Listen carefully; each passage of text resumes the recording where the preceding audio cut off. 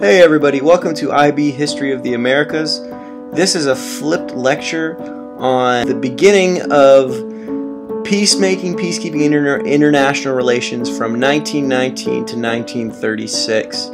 Um, this is a very important topic that you guys need to know, so I think having these lectures at home could be pretty useful for you. You can pause this, you can rewind it, um, anything like that whenever you miss something. So I hope this is going to help out, and um, let's get started. Oh, one more thing. This is also a Paper 1 topic. This is all Paper 1 is about, so make sure you know it well.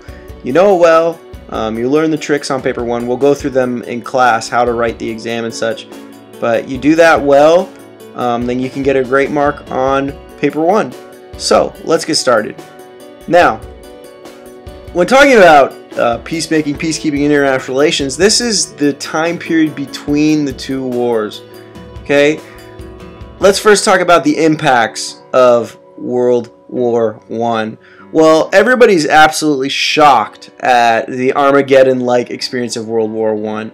Okay, people had gone into the war with the idea that war was um, it was romanticized, it was um, adventurous. You know, it was all about honor and and respect and duty, and and um, it was quite the honor to be able to go out and fight for your country. And then, of course, you'd come home with some medals. You know, maybe a little bit of a limp, but it wouldn't be too bad. But it, it, was really, really um, a, a big part of everyone's lives.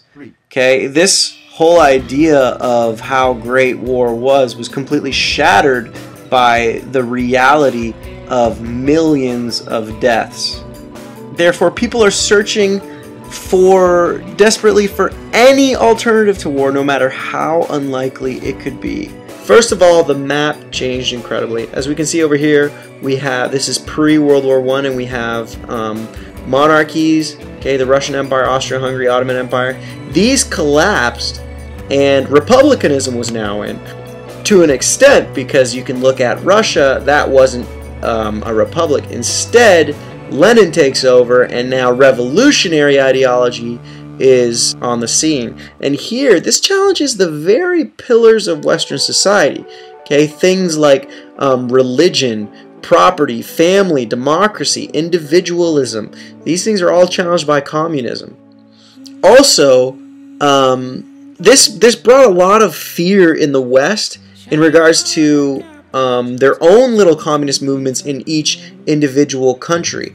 Okay, people were fearful as France, Germany. Okay, every everywhere they all had their own um, communist groups, and they were scared that they might be able to take over.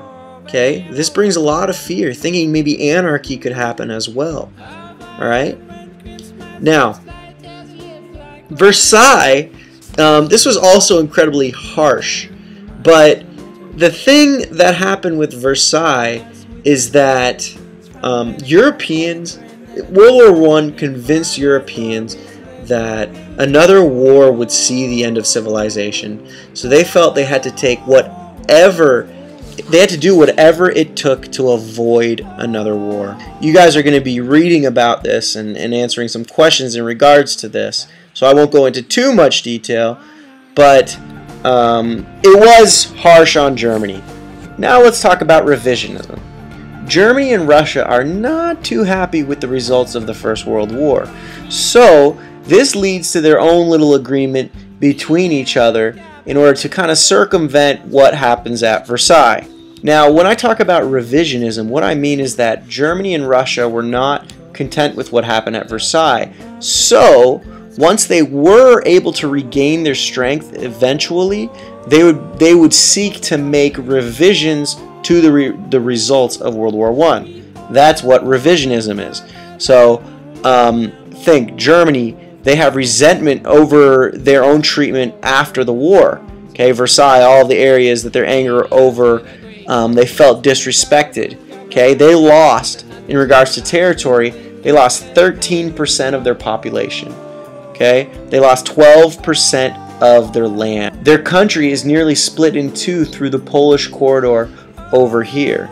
All right? they also lost Alsace and Lorraine to France right over here.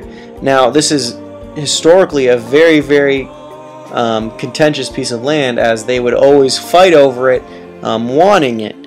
Also, according to the Paris Peace Conferences, um, one of the ideals that came out of it was that countries were allowed to have self-determination. Now, that means that if you lived in a area, you were allowed to move, say you were Hungarian, okay? You were allowed to move to Hungary and your country was allowed to have the idea of self-determination. You have your own free will of that country. Your country now. Now, Germans who lived outside of Germany, they um, were not allowed to enter the Weimar Republic. Okay, so that's Germany's who are in Austria and Czechoslovakia. They're not allowed to come back into Germany.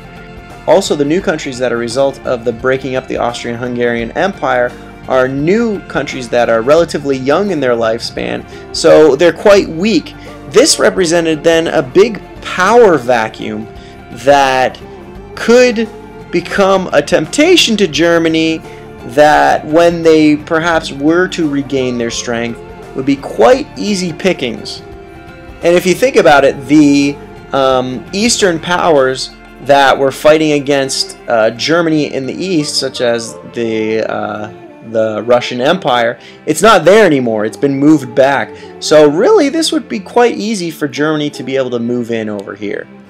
In regards to revisionism, Russia would also be seeking to change some of the results of the Versailles and the Paris Peace Conferences. Now, what happened is Russia, at this point in time, right away after World War One, they're not in a position to be able to um, make moves in uh, regaining lost territory. Okay, they are weak. They had just previously fought a war against Poland. Okay, in the early 20s, and they lost. All right. Um, they also are hardly surviving after their own civil war. Um, after Bolshevism took over, and so they're not really in a position to um, take back lost territory. But once they would become strong, they would definitely search for um, a revision to the results of World War I as well. So the result of Russian and German revisionism is the Treaty of Rapallo in 1922. Now what the Treaty of Rapallo is, is that they formally renounced all um, war debts and things from the Treaty of Versailles, and it was essentially a treaty of friendship. But there were secret clauses involved. Now, um, German officers were able to go to Russia, and what they would do is they would then train Russian troops um, about modern war techniques, things like that. In exchange, um, the Russians would uh, give Germans um, different facilities, things like that, able to all kind of keep the military modernized and keep tactics up to date and to really train a brand new Soviet um, army. So this was quite devious and really what it did is it allowed Germany to escape the disarmament clause of Versailles.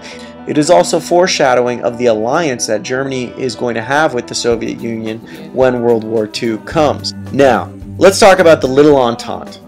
Okay, this is kind of like the little entente that could, or maybe could not. This is around 1921, and what it was essentially was an agreement between a number of new states um, Czechoslovakia, Yugoslavia, and Romania. So we've got Czechoslovakia here, Yugoslavia here. What it was is that they wanted to join an agreement to protect themselves from the irredentist claims Irredentist means a desire to recover former territory. So any irredentist claims from maybe Germany or the Soviet Union, um, how they and their revisionism remember how they'd want to take over. Now, this alliance was supported by France, which gives it a lot of legitimacy. Okay? They were looking for a new ally as they had lost their old buddy Russia over here. Okay, so they're looking to ally um, with the Little Entente. Eventually, they also signed an alliance with Poland, but this is where it starts to to fall apart because at this time Poland was the most powerful of the new states and would have made this alliance much stronger.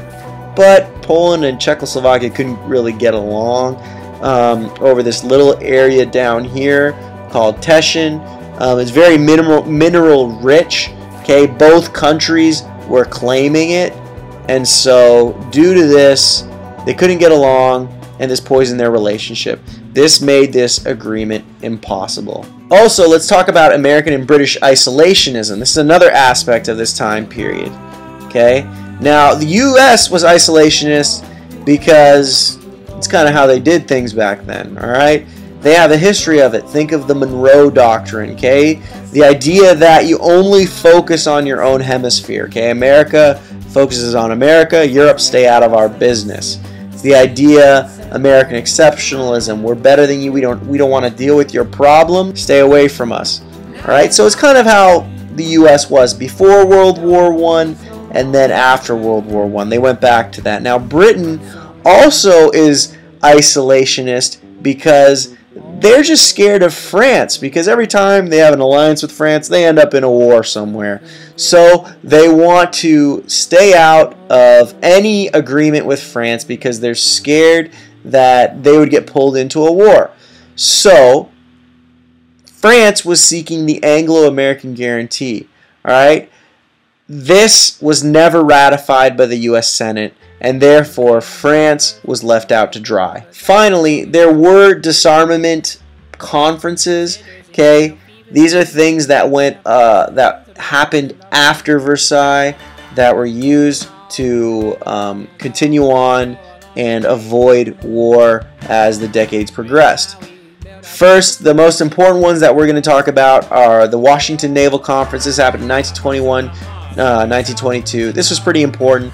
Here, what they agreed upon was a navy that was a ratio of 5, 5, and 3. And this, what we're talking about, is the United Kingdom, the United States, and Japan. So, the United Kingdom and the United States would be equivalent to the 5s, and Japan would be equivalent to the 3.